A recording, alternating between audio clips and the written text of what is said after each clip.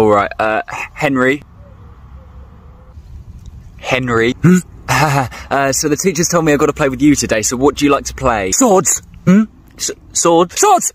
Okay, well, I don't have any swords on me. Hey, look. Oh, oh no. Hey, dickheads! what are you two freaks doing on the floor? Look, guys, can you just leave us alone? What? What are you going to do about you melt? The fuck? Oh, no, where did that come from? Henry, where'd you get that? Put that down. Ah!